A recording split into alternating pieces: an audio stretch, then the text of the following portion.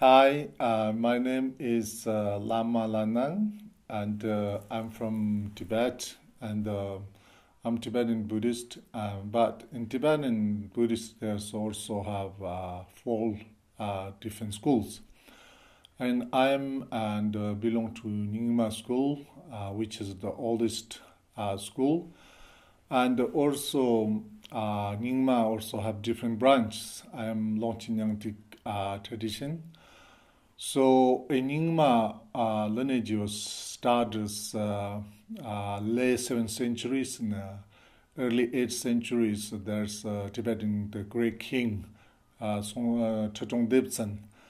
He invite Shantarakshita uh, in the, he's the abbot of the Nalanda University.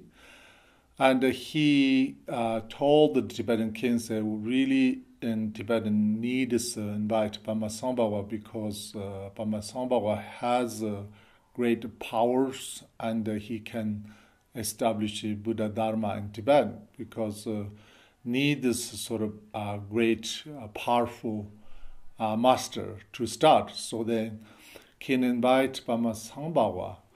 So who is the uh, great master? And Padmasambhava uh, overpowers or tempted the, all the dark uh, forces and all the obstacles and uh, and established the Samye monastery, the great uh, monastery, the first uh, monastery in Tibet. So also Padmasambhava gives uh, there's many prophecies, but just I wanted to say one because one was He's saying uh, iron birds fly in the sky, uh, the stone bridges in the rivers, uh, the horses with the wheels running in the roads, the east meet west. My teachings go to the world and benefit many people.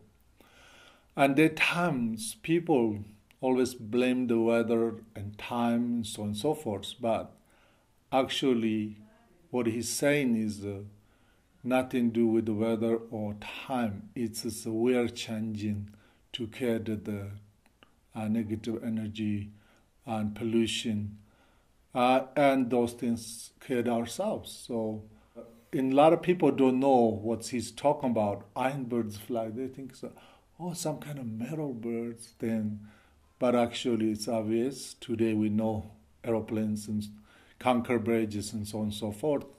So anyway, uh, that's the great master uh, was uh, established, and then his uh, 25 disciples, and then Longchenpa, Jigme Lingpa, and then great masters.